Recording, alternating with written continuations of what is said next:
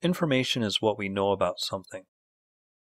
Data is raw information that can be manipulated by a computer.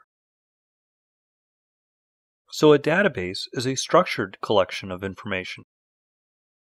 Our database might start out really simple, like this spreadsheet showing cars and their owners. A field describes a single attribute of an object.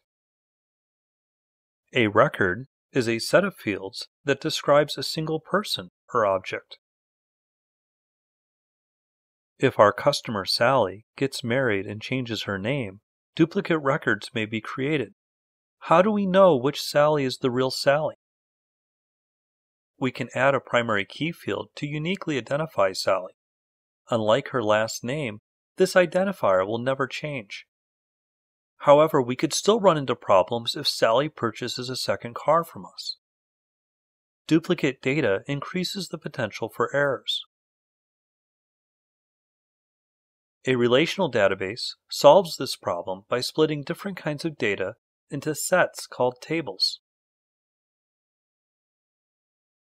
One table is storing data about cars, while the other table is storing data about customers. Keys are used to relate the data in the tables. Primary keys uniquely identify records in a table, while foreign keys identify records in a different table. Databases use different types of relationships.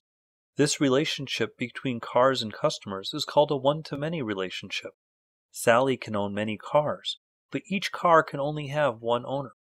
Notice how we have leftover data that is not being duplicated? This lack of duplication helps to ensure that the data is valid. Luckily, the person using the database does not need to understand the structure of the database.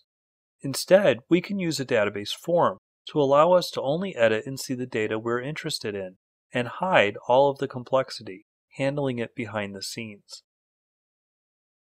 So while a database does add more complexity, these structures and rules help keep the data valid, and database forms hide the complexity, managing data for us behind the scenes.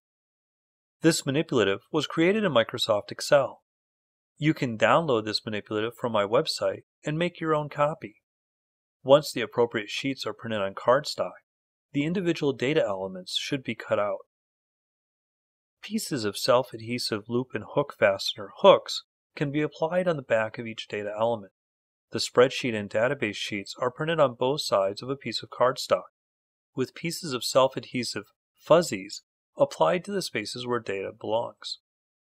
Finally, the database form sheet is printed on normal paper, with the spaces removed showing the data fields accessible underneath the form.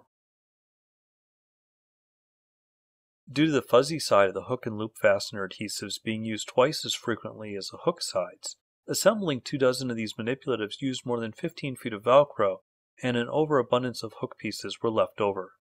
This tool and video is licensed for your free use under the Creative Commons Attribution, Non-Commercial Share-alike license.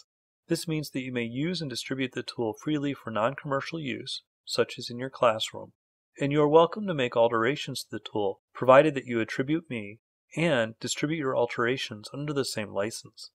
If you find it useful, make any alterations, or have any questions or comments, I would love to hear from you, so please drop me a line.